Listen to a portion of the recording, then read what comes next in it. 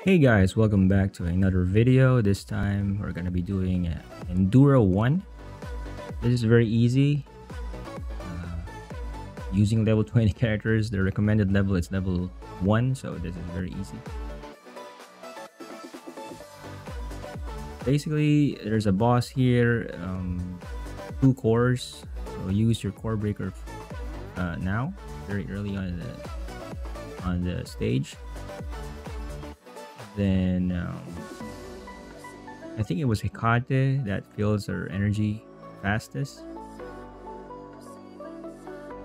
Oh no, actually, uh, is free. But let's just use Hecate um, right now.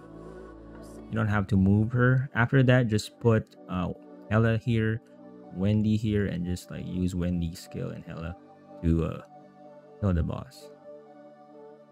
And then put Hella back again here at the back and put Wendy on the top again. Just to be sure, you know, put them in the original places. And that should be it. I don't think the, there's a, another one that needs core breaking, but if ever there is, we could still use our chief skill.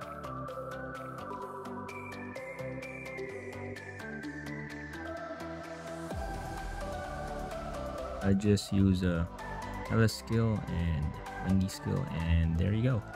Endura 1. Very easy. Thank you guys for watching. Like, subscribe.